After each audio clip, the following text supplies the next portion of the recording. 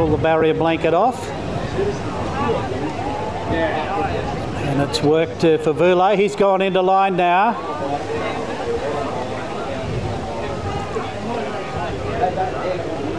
Unrestricted has gone in, so Mountbatten will be the last, is back on the pony, about to come up. Fitzroy Boy and the Giddy Up Gundy Syndicate colours down on the inside and the pink.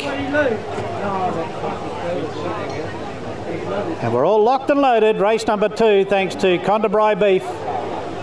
Thousand metres they run, gates are back and they're racing and Fitzroy Boy exploded out off the inside, anticipated brilliantly, but he's already three lengths in front, Fitzroy Boy.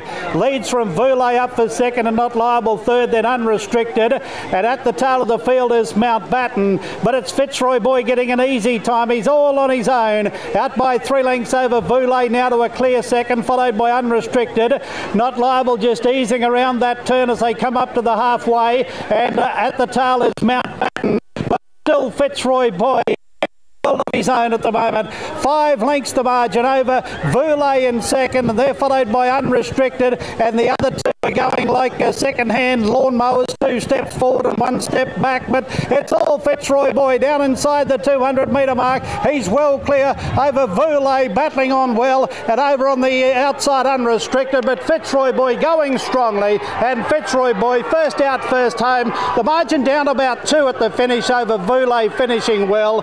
Third home unrestricted. A long, long break then to not liable, and Mountbatten has gone around at the tail.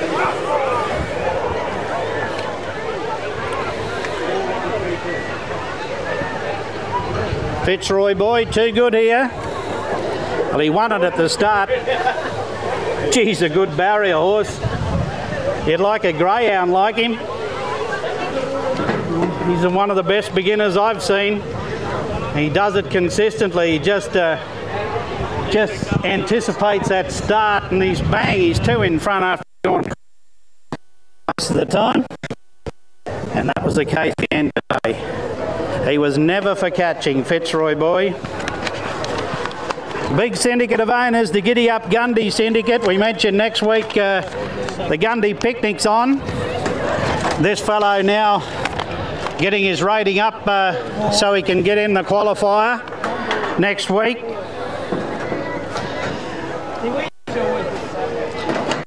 It's 4 1 3 2, the numbers here. Fitzroy Boy, Barry Shepherd, Nathan Fazakli. So the Faz man has got two from two here today.